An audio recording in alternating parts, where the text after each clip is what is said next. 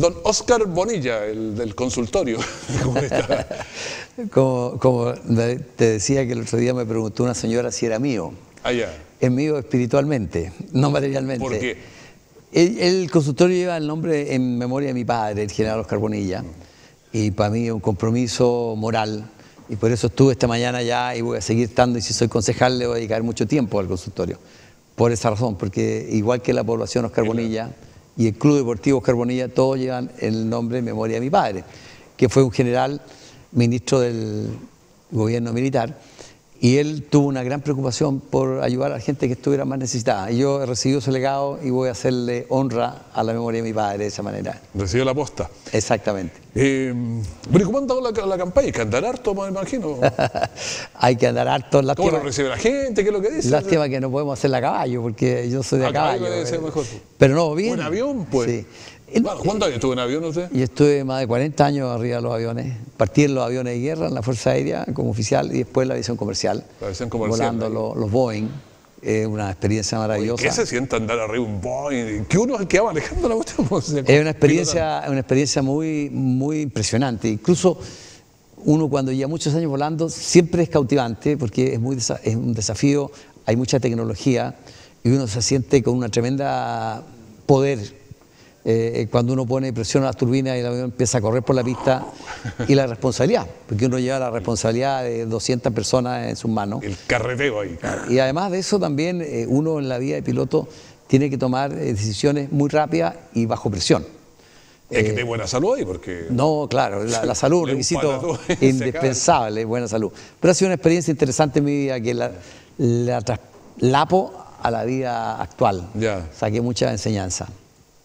Ah, y, y hoy día, digamos, el avión es una cosa rutinaria. Sí, claro, Pero hay que pensar que hace años atrás no era así. De los El- primeros que se subieron arriba de los aviones. Claro, Oye, si la aviación tiene, ¿cuántos? ¿100 años? Y, y por ahí no. 100 años, ya hemos ido a la Luna y ya anunció la NASA próximo viaje a Marte.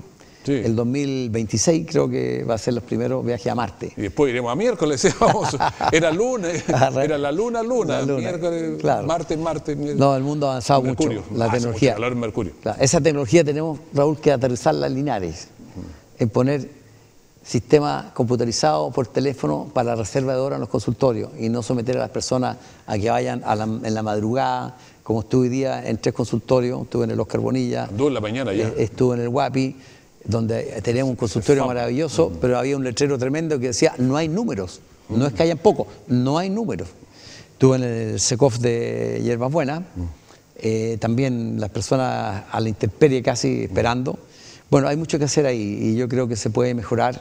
Yo no critico a nadie, sino que constato lo que veo y trato de escuchar a las personas para llevar sus quejas y, y sus peticiones al- al- al Consejo Municipal. Bueno, le agradezco mucho que haya venido estos días que andan corriendo por todas partes. Pasar por aquí, pues está bien. Sí, no, este es un gran canal, y tú eres amigo y, y la gente lo escucha mucho. Por eso vengo acá, porque es una manera de comunicarme con, con los auditores. Nos ven harto. Sí, mucho. Y, y nota, las personas tienen, la, la gente tiene muchas ganas de hablar, de que uno lo escuche.